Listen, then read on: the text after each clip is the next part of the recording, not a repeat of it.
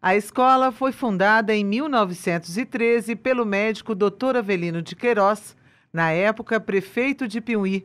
Construiu e inaugurou a primeira escola do município, no dia 1 de abril, sendo chamada de Escola Estadual Dr. Avelino de Queiroz.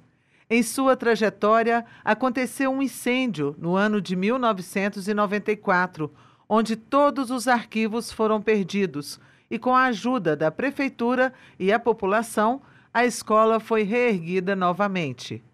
A escola foi mantida pelo governo do estado até a data de 1 de 7 de 1997, quando foi municipalizada, passando a se chamar Escola Municipal Doutor Avelino de Queiroz. Atualmente está sob a direção de Maria Madalena dos Santos Melo e a vice-diretora Lucimar da Silva.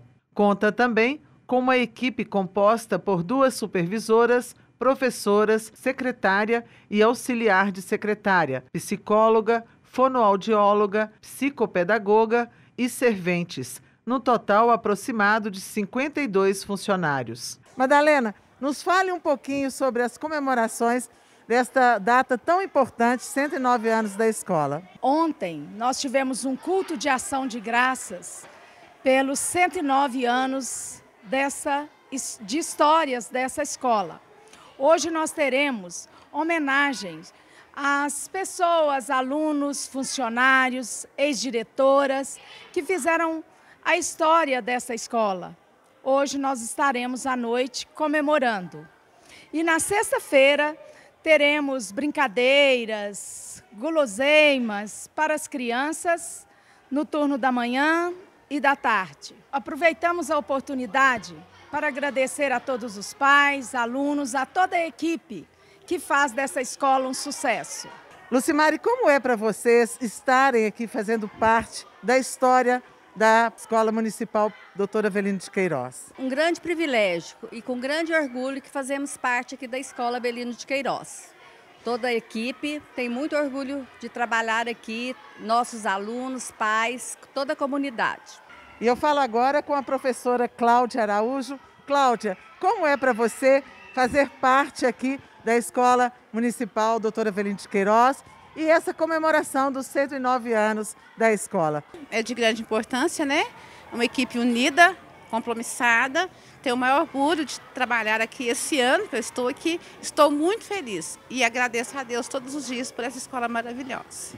A escola atende nos turnos matutino e vespertino crianças na faixa etária de 4 a 12 anos na educação infantil e ensino fundamental. No noturno, a EJA, Educação de Jovens e Adultos, com alunos a partir de 15 anos, totalizando aproximadamente um total de 450 alunos, incluindo as áreas urbana e rural. Este é o Jorge Antônio Santos Vaz, ele que foi o campeão do concurso de poesias da Escola Municipal Doutor Avelino de Queiroz. E eu estou aqui com a estudante Lauane. Lauane, você gosta de estudar aqui? Sim. E você quer parabenizar a escola?